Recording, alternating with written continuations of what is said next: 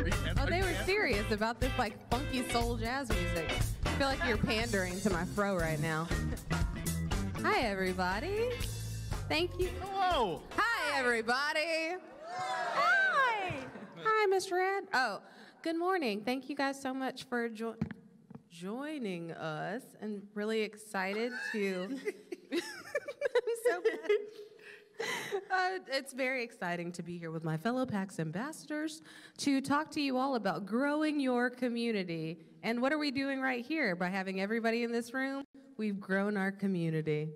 Because you probably don't know who I am, but now you do, and everybody else. And it's a learning experience for everyone involved.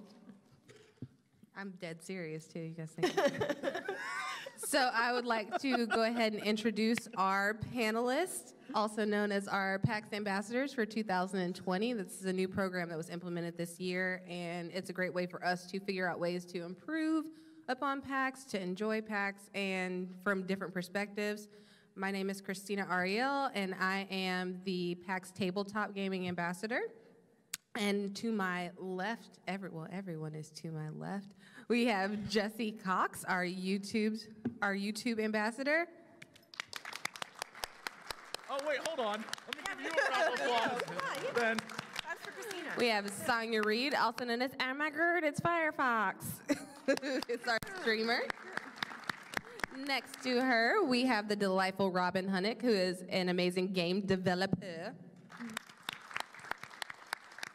And then we have Justin Wong, our esports liaison.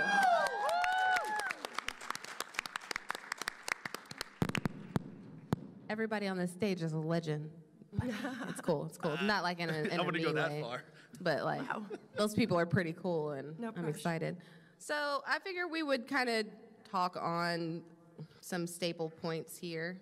I'm just saying words. Don't listen to me. So I'm going to start with all of you. My first question is, what's kind of your origin story in your field? Like, how did you get started? So who would like to start?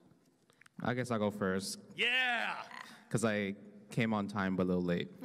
um, I started literally growing up at uh, New York City at Chinatown Fair. It's like an arcade that's still there, but it's kind of like a redemption a game center now. But literally, I was just a kid going there playing just Street Fighter, and I didn't know if there were people playing or there was a community. But eventually, people started talking to me, be like, "Hey, man, you're you're kind of good." And I'm like, really? you know? But other than that, it was just people were very nice. They want to be make friends. It's a way to just leave just your home and you want to do something to stay out of trouble because that's what we were we were kids trying to stay out of trouble and these guys really took me as one of their own. Brought me out to tournaments, made me travel. I had to lie to my parents don't do that. Uh, but you know, a kid's got to do what they got to do to represent the arcade. That's right. But yeah, I mean, because of that arcade and that small niche community, I'm up here right now as a PAX esports ambassador, talking to you guys and doing a bunch of things with like streaming, traveling around the world, playing video games, and that's because it started me putting 25 cents in this small arcade cabinet at Chinatown Fair, New York. Yay. That's awesome. That's a really great story. Justin Origins. Robin, would you Uh, you know, it's funny, but uh, I'm, I am not a world-class Street Fighter player, so, but I am, I am a game developer, and when I started in game development, I was actually just a person studying computer science. And it was a similar thing. I got interested in computer science in college, started programming when I was like 19, learned how to program at a time when you could just pick it up and try it. So I learned to program on a, on a Mac. Um, my first programming language was called HyperCard. It was a really long time ago. Uh, th- This is all coded language for saying I'm very old. Um, but uh, but it, there were no barriers to entry for women in computer in computing at that time. It wasn't odd to be a girl or you know weirdo in computer science.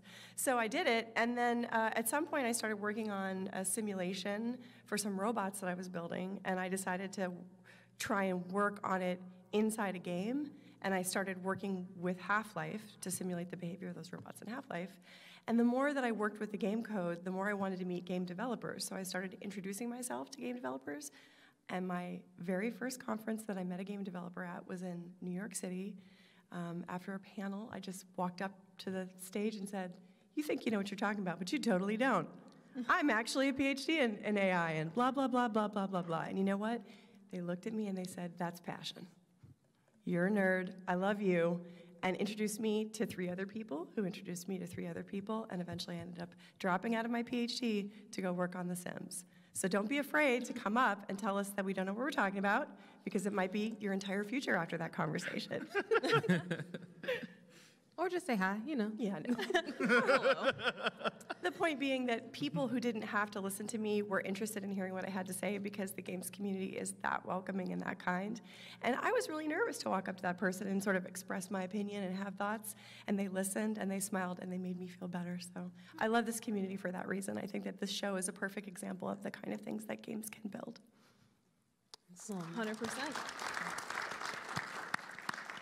Well, I'm sorry to shock all of you also, but I also am not a Street Fighter. um, I did have a start in game development though. Um, I started coding and I wanted to develop games back in college. Um, but at the same time, I wanted to also network and kind of learn more about people in the industry and meet more game developers and kind of get a sense of that community. So um, I went to my first E3 in 2011 and uh, I saw the games industry. I saw the way that people treated each other. Everyone was so welcoming, um, and I knew that that's what I wanted to do. I knew that I wanted to be in the game industry. I knew that I wanted to be a part of this community. So I started to go to more conventions. I went to PAX East in 2012. Um, met a bunch of other people. And it just encouraged me to start streaming. And then we built up a, an audience. I've started a Minecraft series that nobody has heard about called Mianite. And um, RIP season three, and um, and yeah, it's just opened up way more doors to going to more conventions and meeting more people in the industry, and um, now we're we're all over the place doing hosting and streaming, and now we're here. Hey, And now we're here. That's. Mr. Cox. Wow. Uh, I, at one point in time, was a teacher. And uh, then during the summers, when, you know, you're supposed to do something with your life, I would just make like dumb videos and would post them on the internet. And one year, I remember one of my very good friends was like, dude, you can make money doing this. I was like, what? and uh, it just so happened that uh, around that time was when we had our big, what would that be called? Recession, I think. Yeah. right 2009, 2010. Yeah. Yeah, and so uh, my teaching career ended at that time when they let a lot of us go. And so I had nothing. I moved back home with the parents. Uh, I had my computer and clothes, and that was it. And so I just made videos for fun. And uh, a year later, was out in LA and living it up. So I just, that's what happens if you just do it every single day with a passion That's of a man who has nothing else but making videos. Consistent. Yeah, consistency. That's great. And I am a Juri main, so I'll see you later, man, when you beat me because that's a low tier character. Anyway, Um, I got my start. I am a cosplayer, and I wore a really cool cosplay, and people were like, "I like that," and I was like, "Thanks." and then I kept doing the thing, and then I, for being in that community, like I like it, I enjoy it, but it was like I wanted to, I don't know, I wanted to be a part of something really cool, and I went, as luck would have it, to lunch with Satine Phoenix, and she said hey, I want to talk to you about some stuff. And I was like, cool. And then we didn't talk again for another couple months. Then she says, hey, do you want to be on a show called Sirens of the Realms? And I was like, yeah, okay. Mm-hmm. So, fun fact, I had never played D&D. I wanted to play D&D. I had never played D&D until that stream was my very first time. I played D&D for the first time ever live on stream That's amazing. and figured had to like figured everything out and i mean we'll go into it because we're going to have serious talk it's called real talk as a black woman it's hard to find a gaming center to like a start for a tabletop game because it, there's a lot of gatekeeping and we all acknowledge that and understand it it's just facts So to find a way to get in was hard. So to have that, like I spent like my childhood reading comic books and being a nerd by myself in my little bubble. Yeah. So to like finally be like, I'm gonna let my freak flag fly. Like I'm doing all of this. I'm gonna play the games. I'm gonna dress up. I'm 30 something years old. Who cares anymore? And so I started like, and I I'm mean, with you on that. I'm with you on that. I'm 34 years old. but it's one of those things where once that door was open, I was like, I fell in love with just role playing, with being present in game with friends, and just being a part of this community and being able to have like to have people listen to you is a weird thing. Like the fact that you guys are sitting here, that's an honor to have people give a shit what you have to say. Like it's cool. It's an amazing thing in this community just the D&D community, the gaming community, the tabletop community has become such an amazing part of my life and has been very welcoming to me and has opened doors to do other things and I've gotten like when I started I was like, oh, like no one cares who you are, no one cares what you're doing, and then it's like you have people. I ended up doing Critical Role and Dice Camera Action and all of these things, and it's not for any other reason than I'm passionate about it. Like I am passionate about it. I spend my days reading manuals and talking about gaming and gaming and being around people who like gaming because gamers are the coolest fucking people in the world. Like, mm-hmm. you guys are super cool and I love you. Like just for caring enough to actually do it. And it's just an amazing community to be a part of. And that's why I spend every day trying to grow in it and make it better and be surrounded by it. So moving on. Yes. I'd like to know what is it that you do to promote a sense of community when you're engaging like online with be it Twitter, Instagram, how do you or when you're streaming, what is it that you do I guess to make people feel welcome, to let them know like that you are a space where they can learn or talk or they don't feel like this air of I I know there's this big thing of internet celebrity and people get afraid to talk to you and they don't realize like hey like we're literally all just people Yeah. some like how do you make people feel welcome what do you do Um, I would say for my case that um, around everywhere around the world, there are local tournaments about from the fighting game community. So I want to sh- just show the light because obviously there's so many communities that they, they stream, but they might not get that much viewership, or not a lot, none of people around the area knows about the community. Um, so I try my best to like really tweet up tweet about the streams go to the locals when i'm traveling around the world you know make youtube videos about hey man these locals do exist.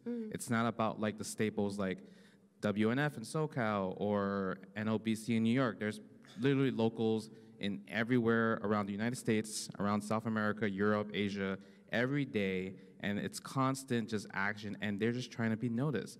And then i did a program last year where i flew out like 13 players that wanted a shot that weren't sponsored and to and to go to compete at the world tournament just for the exposure the experience and a chance to be noticed by players are, that, are, that are watching mm-hmm. players like you gamers like you so they can have a, a chance to shine. So it's really all about that that that love in the gaming community because obviously everyone games everyone's normals. Even though we are up here we're just like you. We just want to play some games Yeah. and we want to make some friends and that's kind of what i do for for my community and how just to make them grow. And even now like i just tell people hey if you guys have a local tournament and you need some exposure you can even use my twitch channel i'll give you my password just don't go into my just don't change my paypal information that's all you know but Stan I- iMessage, yeah, I no mean, go by I- I- I never met these guys before, but I'm like, hey, I want your scene to grow. I want people to know that there was a Tekken 7 tournament at Lancaster, Philadelphia.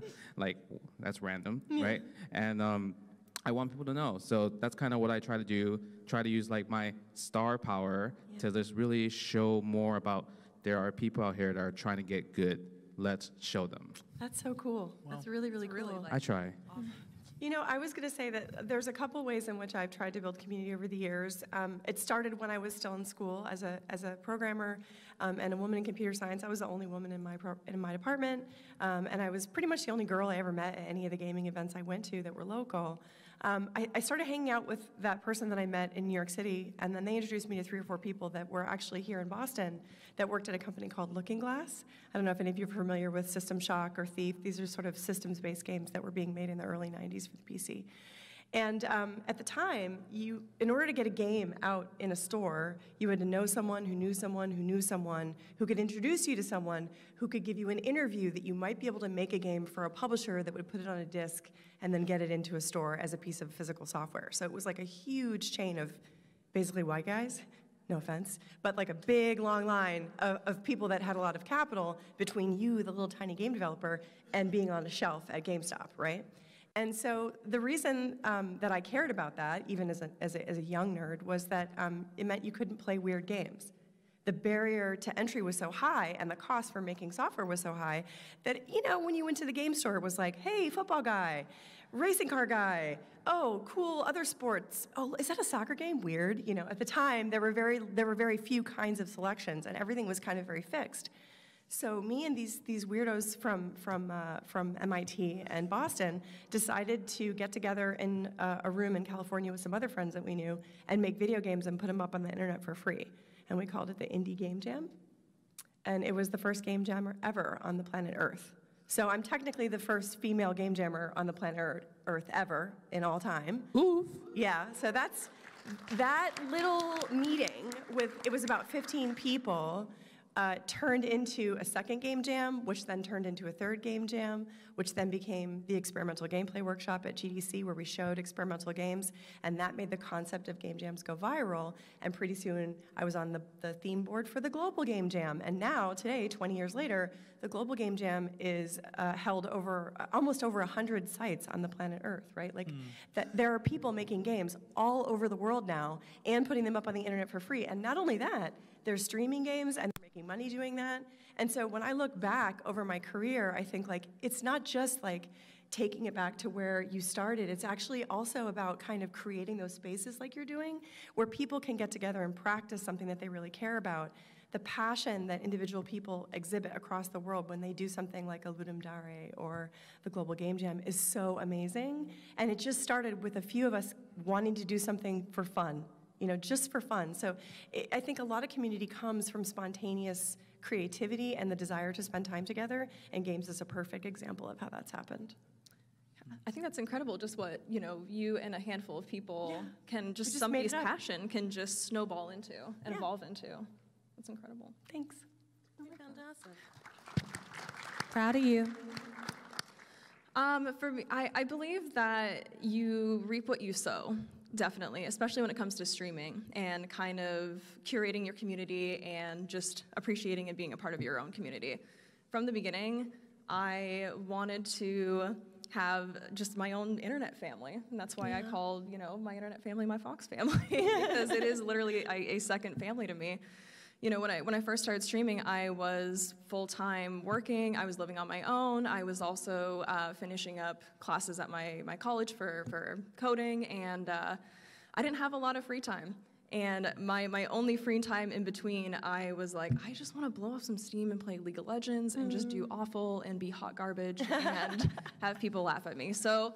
Um, when I started streaming, uh, it was kind of like an escape for me. It was kind of like an outlet for me to, to be like, okay, now I can just hang out, chat with some people, play League of Legends, and just connect. So it was kind of my outlet. But I felt like as that grew and I started getting more and more messages of people being like, you know, I, have watched all of Mianite and I've watched like all of your league streams, and it's it's nice to be able to have a place where I can go and just be weird on the internet and like hang out and connect with people. So um, and, and, and talking about how that was kind of their outlet. And I think that's what kind of flipped the switch for me. And I'm like, this, this was something where I just wanted to kind of like hang out and get it all out and connect with people, but now it's it's kind of creating that platform for other people to yeah. come in and be like, oh, like now yeah. I can kind of be myself here too. Yeah, so, and I, I, feel like again it kind of curates within the community too, where when you have new people coming in, the people who are good and like appreciate you and and appreciate the community, they're just more than open arms and like the biggest welcome. So. Um, I love that, and I, I think again, like just going back, you you you reap what you sow. Well, you re- you reap what you sow when it comes to your community. Yeah. Genuinely. Hmm. Yeah, that's all. Jesse? Uh, wow. Um, I started this crazy train 10 years ago. So at the time, streaming and YouTube Yeah. and internet presences were non existent, really. And so uh, I exist in a world where before that, I stocked groceries and I put popcorn in buckets at movie theaters and I taught and I had like what I consider to be real jobs. I'm sorry to all of us. We I very- sold cars, my dude. lucky. Get off me. So hard. Very lucky. Real job. Um, but I I did these things that I was just like transitioning into making videos on the internet is a dream. It's insane that this exists. And so uh, at the time, it was I'm gonna make these for fun, and I'm gonna just compete with my friends to like try and get people to watch these videos on the internet. And uh, it was, man, I think it was a World of Warcraft beta way back in the day, and we would like get onto the betas and like put videos on the internet and be like, "Here's a zone you don't know exists yet." And people were like, "Oh!" And so we'd make these videos and we put them online. Uh, I would do old school like AMV things back in the day. Uh, they still exist out there. There are a few of them. Uh, they're terrible and just yeah. And I, and I would do it just because it was a creative thing. For me, it was okay. I'm gonna make this video to get the timing right on edits. Like I'm timing it to the music, stuff like that. And it didn't ever cross my mind that there would be people who would care. yeah. And so now, flashing forward, seeing that I have an audience and seeing that there are people who genuinely care about the content I create or weird things I do online or who show up to stuff like this, it blows me away. And so I always feel obligated to give back constantly. And I think one of the biggest things in my community is I want to make sure everyone is is always feeling welcome and happy and like there's something for everyone. So I'm constantly changing up what I'm doing. If I'm doing one sort of video, I'm also doing another thing along the same, you know, the same time, parallel to that. Um, I want to make sure everyone has something they love. And I'm so obsessed with making people happy that I literally made my own convention. And it is a it is a thing in the UK where I was like, all right, I'm gonna bring my friends and I to you, and we're gonna do a convention, and the whole point is you get FaceTime with us. We're going to cap out the number of people who can attend, and we're just gonna be like, come hang out with us. It's not like we're gonna sign a thing and then push you away. Literally at night, see you at the bar, y'all. Like it was it was a thing that I wanted to do because I felt like I still don't understand. I still to this day don't understand why people will watch me play video games on the internet. it seems weird. It seems real weird. And I am blown away by it. And so I always feel like I really need to make this worth their while. So um, that's where my mentality is with the community. Is I'm always trying to like, all right, how do I make this better for for y'all? Because I truly don't get it, and I and I have been doing this a long time, and I'm like, oh my god. If you could tell 16 year old Jesse, Oh, that sweet child playing, wishing he had a PlayStation but playing on his Super Nintendo still, uh, he would be like, "What?" Yeah, I think we all. Yeah, it's it's a it's a weird thing to know this exists and to know now that there are um, 15, 16, 17, 18 year olds who are just like, that's the job I want.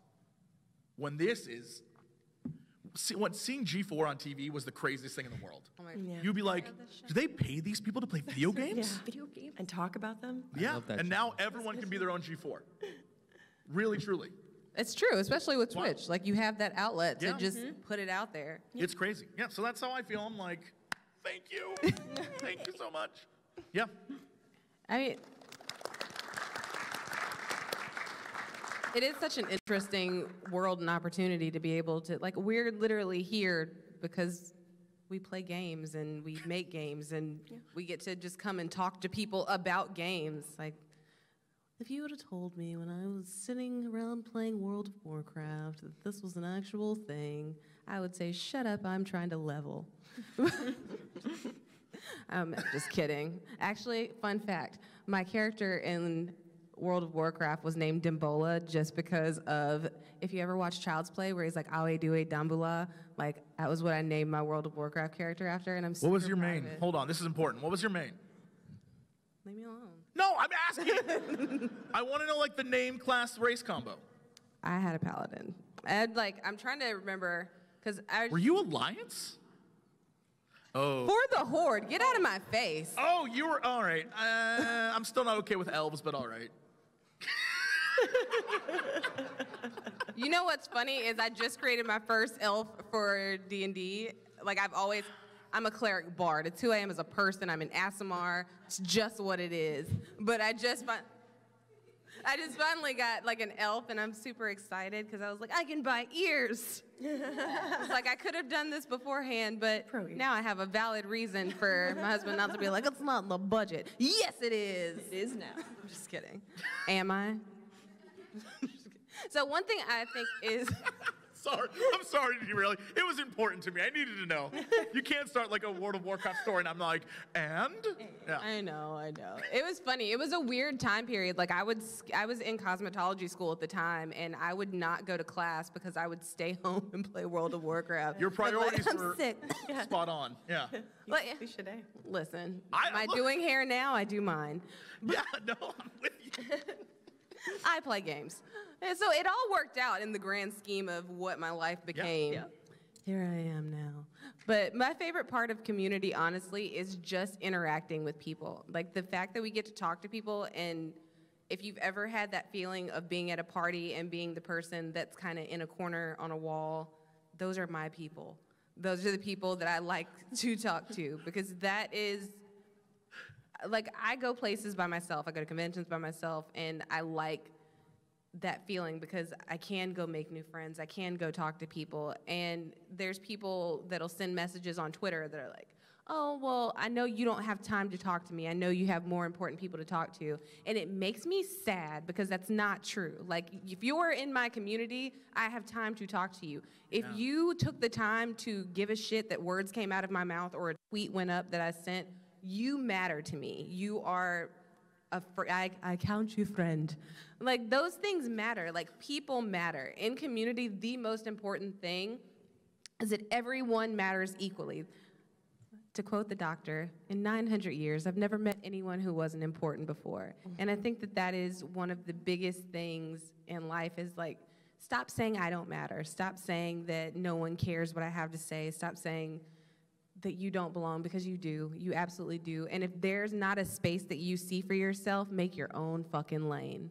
Yeah. Like carve it out yourself. Exactly, yeah. I have sold cars, I have waited tables, I have managed restaurants, and the truest version of myself is me going out and creating a job by being myself. That is the truest I've ever been to myself in my life is by being myself. And myself matters to somebody, so does yours. Like be yourself. Go out and be that person. You may not be everybody's cup of tea, but you're somebody's shot of whiskey. so go and be that. Like I'm from the South. But no, like go out into the world and just exist and just be. Like we've all had these points in life where we've either done stuff that pushed people away, we've made bad choices, or we've been an asshole that people didn't want to be around. Let's just be for real. Own it.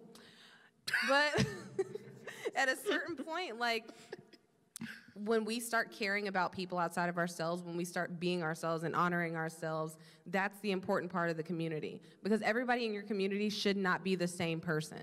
Hmm. Like, people are, it's not forcing diversity, it's getting different perspectives, it's seeing different lifestyles, it's taking other people's experiences into your own and growing as a person because learning like if you you don't know everything i don't know everything none of us know everything. But to have other people say hey this was my experience this was my experience and to take that and grow from it and learn like that's only going to help your community. Honoring those things about people in your community like that's how you grow. That's how you grow your community and that segues into talking about organic growth and authentic growth. You're really good at this.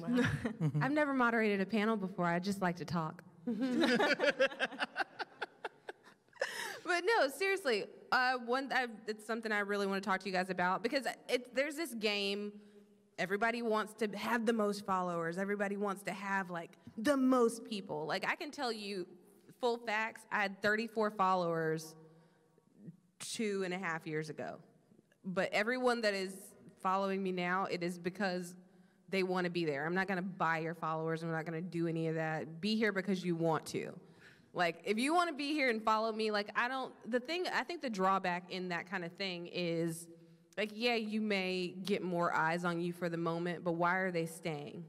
Why do they care? Why do they want to be there? And why, like, why would you not want to build from an honest place? Mm. So I think you guys all have, like, lots of more people than me. But like, how do you get people to stay? How do you get people to want to engage? And I know a lot of it comes from just talking honestly to people, being authentic, being yourself. But what do you think is the importance of having that organic growth versus an artificial, but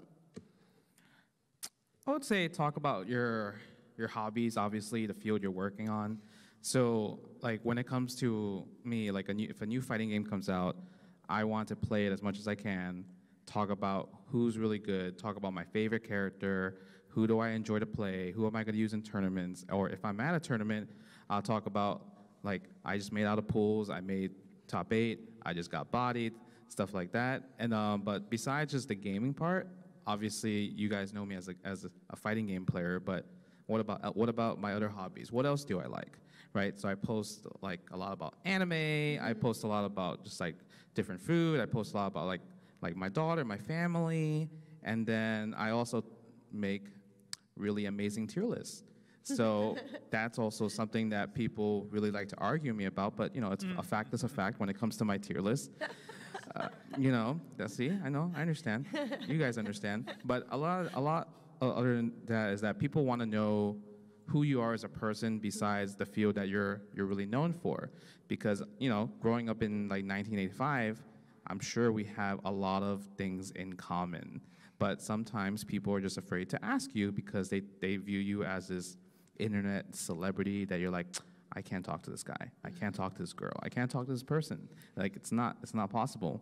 But I think um, what I like to do is just I just want to just always tweet out my thoughts in mm-hmm. general, and then get people engaged, have conversations.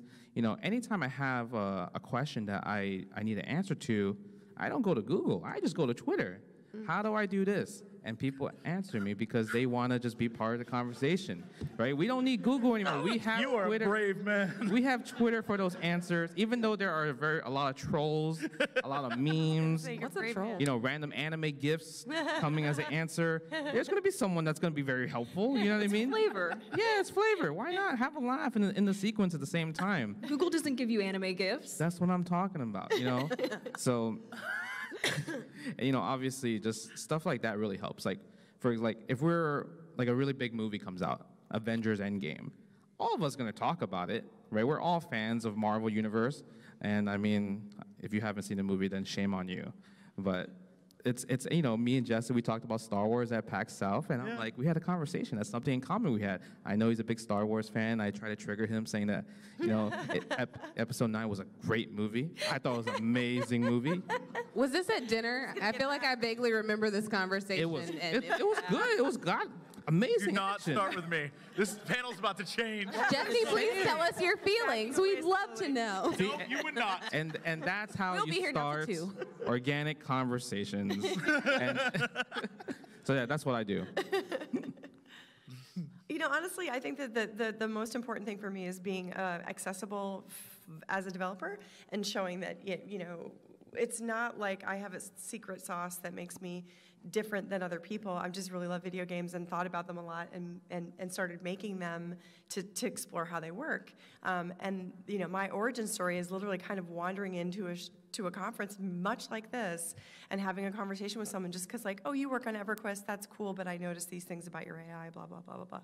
And like when you think about uh, what it means to be a developer today, or to be a streamer, um, to be someone who's really big in esports, it really is about you know coming up from that, that passion alone. So just really being authentic about um, the fact that it's I'm not special, you know. So I, I tweet and post about things that are normal to me, um, random things I see during the day, my hobbies and all that stuff as well. But I think that for me, the the real uh, like the rubber meets the road at these shows when I can organize an event for developers and make them feel like their struggle is real and it's not um, it's not unique. So it's very common, for example, if you start a game company, um, you realize that it's really hard to run a business and it's really hard to make money making games, and you can have a lot of big hopes and dreams, but maybe the first two things or three things you make, or maybe even the first 10 things you make and put out there, nobody pays attention to, right? Sure. And people are like, oh, you know, maybe I shouldn't, maybe I'm not cut out for it. And you just be there and say, you know what? Everyone's going through the same thing. We're all just trying, we're all doing the best we can. Um, and when people come up to you to really be, to be vulnerable and to be honest about it, if, you know, someone says, hey, how are you doing here? You know, I'm not doing so great right now but I'm really glad to be here with you right now, right? You don't always have to have a face on, you don't always have to be perfect, just to be your normal, regular self, like a normal person with that person, and to be open to listening to people talk about the things that they're passionate about. Don't try to drive the conversation so much, just like be friendly and listen. Um, and I think, uh, you know, I've met some people that I thought were really cool and famous, and they weren't cool. and then I've met some people who I thought were really cool and famous, and they were amazing. And the, the big difference is that they didn't bring this huge personality into the conversation with me. They just let me be me, and they were them. And so I try to mirror that behavior whenever I'm in an event like this. Yeah. Um, I feel like in in the streaming space, a lot of people is speaking on growth and organic growth. I feel like a lot of people can be um, almost feel like they have to be pigeonholed and forced into playing like the, the top games. You know, like they, they look at the categories and they're like, all right, League of Legends, Fortnite, I'm in. I have my roster of games. Um, but I feel like for for how I started, I you know I started with technically horror games, um, League of Legends, Minecraft, Counter Strike, Overwatch, um, everything else in between.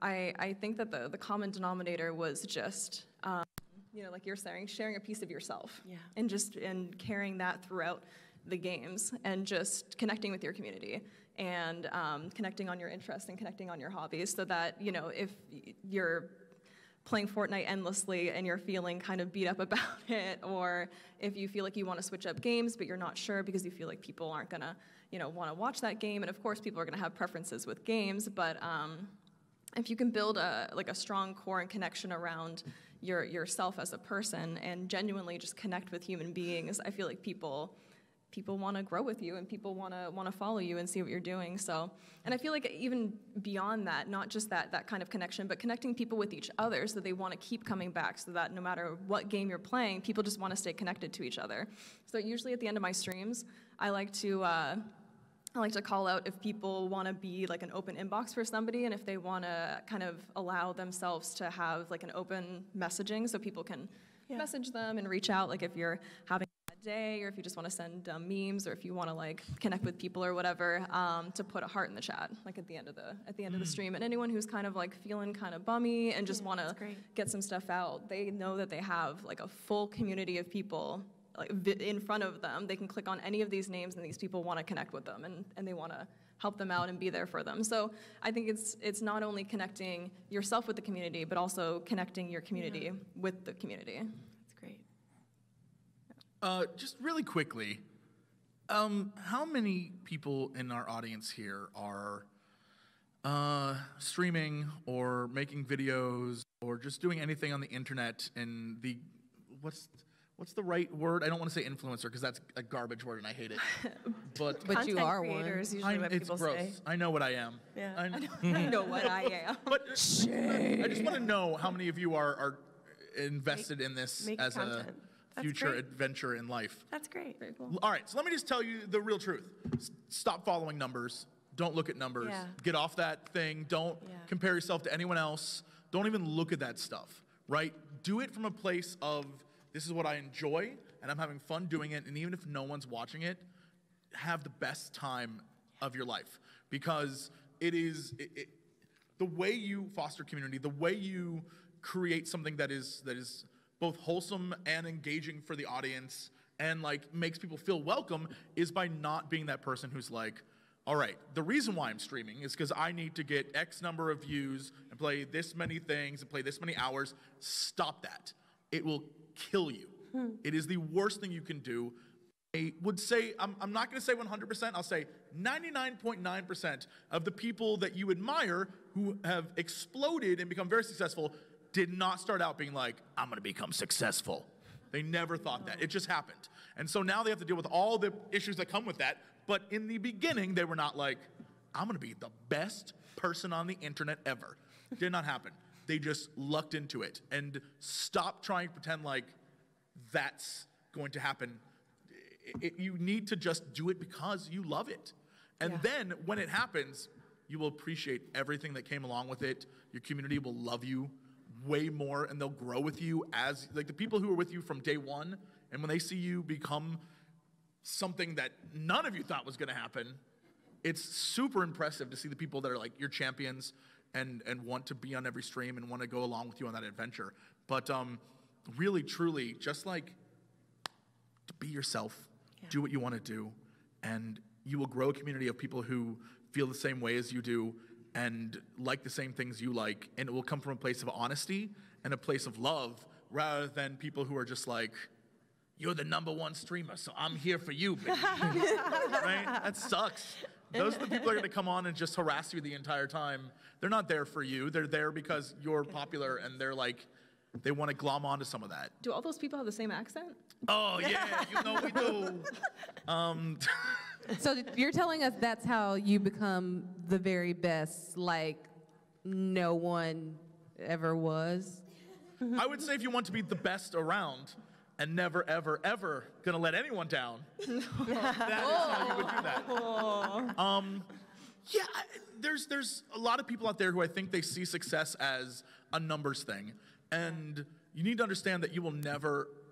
Even I think all of us up here Yeah. have seen people who started after them and immediately were way better than them and you have to come a- you have to like come to the realization that sometimes people just have better breaks sometimes people are just better than you. Sometimes people are like they have stuff figured out you don't have figured out. Or more free time? yeah.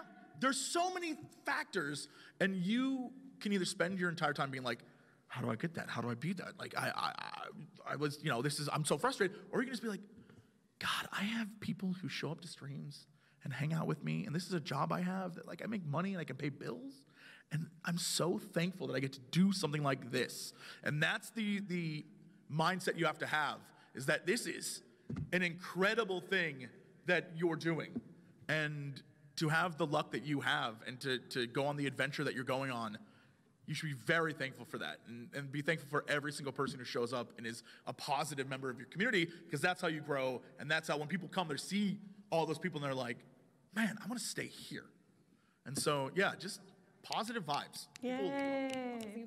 I think there's. positive vibes Huh? Huh? Huh?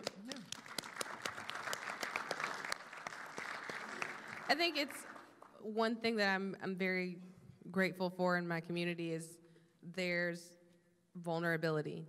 And I feel like not just from me, but from other people. Like, you don't just come to my page and it's like, all D&D all the time. It's also pictures of my baby mm-hmm. and my family and like learning, like you're seeing all of these different sides of someone and you don't have to do that. Like if you like keeping your personal life personal, that's you, to each their own. But I am posting 40,000 pictures of my baby per week. because Your baby is adorable, fuck. actually, so Thank, thank you. you. Very excited. Oh, and also, because I am the younger sister in an equation, I would like to shout out my sister, Danielle, who is watching this stream and being supportive right now. And also, Danielle. hi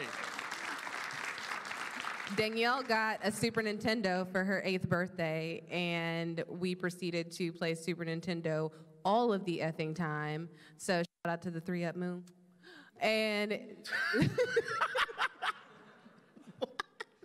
you know when you go back after you get your cape and you fly up on the first level Oh, and I'm aware. Just saying. if it weren't for her, then we wouldn't have had one. It was super cool. I remember that birthday of hers because I felt like I got the gift. Mm-hmm. Hi, Danielle. Thanks for being my big sister. I like you sometimes. I'm just kidding all the time. so, speaking of siblings, let's talk about mental health. Best transition of all of PAX. Just nailed that. One, won, PAX. what happened? You said you're not twins? Oh, I was like, she stole your face. That's great. Which, I, that's having a sister is great. It's a built-in support system. It's a built-in person to, you know how they always say you should get punched in the face at least once in the life so you learn how to like be a better person. That's what they're for. So, um, what? I don't care what anybody says. Sisters fight more than brothers. Like I'm telling y'all, like it was SmackDown sometimes, and she's cooler than me, and I just own that. She also has better style, whatever. So anyway, mental health. Um, why? It's. I think it's very important to understand that there is a. We have an opportunity, especially as your platform grows, to open up about these things and to be very honest about who you are, what you're going through, and because not everything is roses, especially when you count in trolls and people that are like sending you messages that are insane in your DMs all the time or their penis, whatever. I mean, like this, that is a real. Would Oh, you no. like to see my DMs? This is real life. I don't want to, no. I'm fine, actually. And it's important. I bring that up with the segue of sisters. It sounds like a joke, but to have a support system in place because it is hard being a part of internet culture and streaming sometimes when if you show like your chest, then all of a sudden you're a skank and you're only doing this for the views or you're doing this for this. And like mm. people don't understand a shirt is a shirt, a person is a person, an outfit is an outfit, and one does not make anyone anything. So like you have to learn how to find different ways. So I want to know like what you do to deal with bad mental health days, like days where it seems like I don't want to do this anymore, like I don't believe in my It's not even that you don't believe in yourself, but when you find yourself saying like no one cares what I have to say, the voice in your head is saying like you're terrible, no one cares about you, like all of those things that just feel like they can swallow you on any given day, like a day where you don't want to go and stream and talk to people about your game.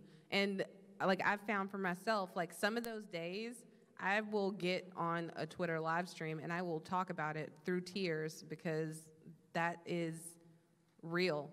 And I think that vulner like that vulnerability, like that realness, like showing people, like I'm not just gonna stream when like my face is beat and I look cool, like today I'm coming to talk to you as a real person that is sad or is having a really hard time, but showing that like those things are important and those things are very real. One thing I've I'm not trying to like talk talk, but I'm trying to segue my to you guys. But one thing for me, I went through a very big spell of depression. I had lost my best friend, was killed in a car accident, and it was like a very bad, bad time. I was also making really stupid choices, bad decisions, and I decided that I wanted to drive my car off the road, and I told my doctor that that I wanted to drive into a tree, and I didn't want to live anymore because I just all I could think of was the bad things that I did, how I hadn't accomplished anything, how I wasn't a good person. I didn't feel like I deserved to be here. And mind you, this is all those years ago, and I think that person doesn't know that I'd be standing right here using that to say, shit is bad sometimes. It gets super dark and you get very lost, but those days don't last. Like those days leave. And the best part of that scenario was I got help. Mm. I went and I talked to someone. When it got to its worst, I went and I went to an inpatient treatment center that I was afraid for two years that I was too embarrassed to mention that I went to because I didn't want people to think I was crazy or I was any of those labels. You're not crazy, you're getting help. There's no harm in getting help. This community and the internet gets so negative sometimes, and it is loud, and the negativity is sometimes louder than the positive. And you have to be mindful of the fact that your mental health matters. Saying, I need help, saying, today I am not okay, there is not a bit of shame in it. And you have to own that space. Mm. You deserve to be here, you deserve to exist, because you don't know where you're gonna go from me at that low point to me being able to talk to you guys today is fucking huge for me. And I just want you guys to know that you matter, and that is why every single person in your community matters. You all matter, and you all deserve to be here. And I want to know how you guys deal with your bad days. Oh. That wasn't in my notes. Well, that was a lot of feels right there. Yeah, that was. it was not in my notes, I promise. Yeah, no, no, you're, you're good. It's a, it's a lot of feels. Um, I don't know. It's, I feel like the way right now, like I grew up with like nothing, into some, and now- now I have something where I can support so many people in my life, so much of my family. So I'm really about positivity. Everything I really do is about positivity, and I understand that negativity is like so popular right now, especially in the internet. You know, anime, avatar, Twitter profiles, they they just want to be negative, man. Um, but there are obviously when I do post about certain things, a lot of people get really nitpicky, triggered, and it's it sucks, right? Sometimes I'm just like, man, I I don't know what to say. So normally I just avoid it and everything. But I do have a lot of friends that are in a similar position as myself that really has to say something or they just get triggered or they talk to me about their problems. You know, people will call them like overweight, they'll call them a skank, they'll say like you're ugly. And I'm like, just avoid those people Yeah, because not yeah, because those are they're, those are people that are just want to be negative. But then what about the people? What about your fans? The people that actually, you know, give like a crap about what you're doing in your life, what you're doing for the community, what you're doing just to grow yourself as a person. So I'm like, I always tell them those are the people that really matter, and you know, there's always going to be some some people out there that really want to help you, even though you might not know them at all. They just want to tell you that hey, we are here for you. Take your time. We will always be here for you. We will support you, and that's kind of like the life I live. I'm all about the positivity because you only live once, man. YOLO. YOLO is a true factor, and you really want to make the best out of it. Like I always want to make my grandma proud. You know, she mm-hmm. she passed away last year, and like I always want to make her happy because I didn't have a mom or a dad to really raise me as a kid. It's either my grandma or Uncle Phil on Fresh Prince of Bel Air that grew me up as a as a child. That's it. Well, that's awesome. You know, I think that um, everybody goes through these periods. I, I feel that almost anyone that I meet that I can really talk to has had a moment like the one that we were just listening to, right? Where you feel like maybe it's not going to go the way you planned, and it starts to feel like things are unraveling around you, and you feel groundless. Um, and throughout uh, throughout my life, I've had um, a pretty strong meditation practice where I sit for 20 minutes a day um, to just be with myself and think about it. I did it this morning in the sunshine outside of the convention center, just to feel where I'm at. And I think um, over the years, as I've interacted with a lot of developers, both both online in the DMs and then in events, um, I spend a lot of time listening, especially to women, uh, talk about their experiences being in our community, and that's not always a great story. And what I try to communicate consistently in those conversations, especially when they're private um, and they're about difficult things, is that um, you have, like you said, you have a right to be here. You have a right to express yourself and to be heard. And it's it's not you. You know that the things you're experiencing, you're not imagining. They are real. Um, and I'm here for you. You know, and I believe that your voice is is is the future of our industry. Um, during the really difficult times in games. You know, the Gamergate period, um, a lot of my female friends, especially my, my trans friends on the internet that were in gaming, were, were harassed and, and really abused. And um, I'm not the kind of person that likes to see that stuff happen and then nothing change. And it was it started to really bother me that, that these things were happening and nobody was really making a concrete effort to change it.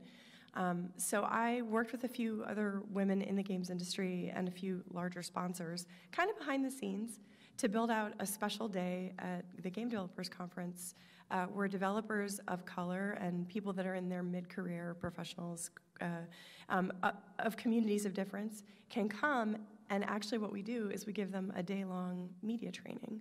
So we have them come up on stage and give a talk, we record them, then we play that recording back for them. They see themselves on stage, they get to practice, we get them headshots, teach them how to write a bio.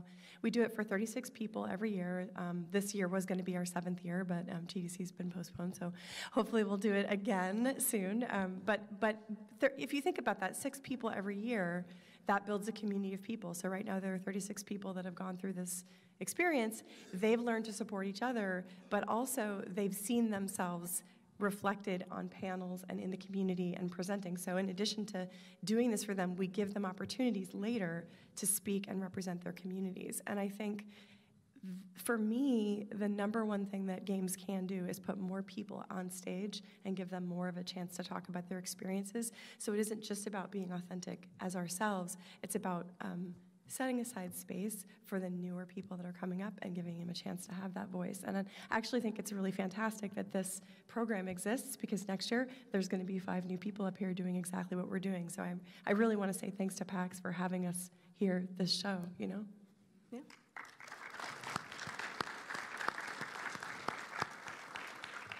Um, I feel like a lot of it, uh, when I think about bad mental health days and I think about going through struggles like that, um, I feel like a lot of it for me is uh, one thing that I've learned is just being kinder to myself. And meditation and yoga Yeah. have been a big part of my practice for the last couple of years, and I feel like that's been entirely life changing. Yeah. But um, just being kinder to myself because I know that if I want to be my best for, for a community or, or make other people happy, it's hard to fill other people's cups when mine is half full. So I want to make sure to take care of my own cup so I can s- spilleth over, I guess, and help spread that positivity. But I feel like a lot of it um, also comes down to, especially on, on Twitch or any YouTube comments, anything like that, it's easy to read it's easy to read things that will tear you down or just like mean just to be a dick. But um, I think a lot of it comes back to just boosting the good, like finding the good people in your community, paying more attention to them. And I feel like if you're if you're fostering that that supportive community, they'll kind of take care of it on their own. You know, like if people come in and roll up your to your Twitch stream and they're kind of just being dicks, I feel like if you have a, a supportive community, people will shut that down, and it kind of you know self sustains this this awesome positive environment. So, Yeah. yeah. Uh, I think everything you guys have said so far is spot on. Um, I'm gonna add something that might sound crazy, but uh, I think putting yourself in a place of empathy. And uh, uh, a long time ago, I was on Twitter and I got in an argument with like just a random stranger, and I was like, I'm gonna destroy this dude. and I posted this response, and he posted a video that was like him on his front porch, and he's like, dude, I've been a fan of yours for years, and I like don't want you to oh. hate me, and I'm I'm so so, and I like, it shook me. because like, this is just like a dude who just said some stuff on the internet, and like, boy, we all need to take a minute and and think about this whole talking to each other online thing, and I now, even though it'll never change and there will always have someone come at you and say something awful, I always, before I think about how I react or how I'll respond or anything, I always have to have a moment that's just like, is this like a 12 year old kid? Yeah. Is this like, who is this person that's, that's doing this? And is it worth me feeling something for this comment or worrying about what was said? Do I address in some way? There's like a, a checklist in my head of everything that I see when I see someone come at me because I'm like, I don't, as much as I want to say to this person, like, you don't know, you don't like know my life and you're saying things about me that are not true, that kind of thing. I know nothing about this person either. And so, even though I fundamentally probably 100% disagree with them and what they said is probably awful, I'm like, okay, I don't even know why that was said. I don't like there's so much to it and I feel like there's a lot that you know, we need to take a step back a little sometimes and just be like, "Whoa. All right, I think we have gotten a little too far into yelling at each other." And so, I think that that goes to what kind of community you want to create and and making sure that everyone in your community feels welcome by making it a positive place that you think sometimes about what's being said even if it's like the most negative awful thing in the world and you're like you seem like a piece of shit. The comment was a shitty comment but i don't know that person at all. Yeah. and while i may say like oh i kind of get what you're about you really don't because the internet is walls upon walls upon walls and then text and you have no clue who this person is. And so I think sometimes it takes a minute to just be like, okay, I need to check myself first and control what I can control, which is just me. Because in, in the world, shitty, terrible things happen all the time, bad things happen to you, and the only thing you control is your response to it. Mm-hmm. And so sometimes you have to be like, okay, let's do this thing. And then you move from there. but take a moment first. And I think that's something we should always think about as well when dealing with stuff on the internet. Absolutely. That is true. And then in my case, sometimes you just read them for filth.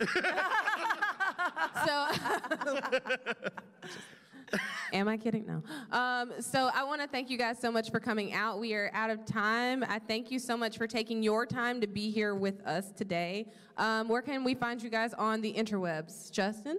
Uh, you can find me on Twitter at jwong with three G's. Uh, that's where I usually post everything. Um, same thing for Twitch, Instagrams, all jwong three G's. Yeah, same for me. I'm just at Hunicke, my last name. It's the only last name spelled like mine, so if you Google it, you will find me. I'm around. Uh, just at OMG, it's Firefox everywhere, Yep. Yeah. on everything. At Jesse Cox everywhere. At Krystina Arielle, K R Y S T I N A A R I E L L E. Thank you guys again. Kate, I appreciate you for being here. She's been tweeting. We've been like internet friends the last couple days, so I'm really excited about it. Thank you Thank guys for everything. Have a great day. Enjoy PAX.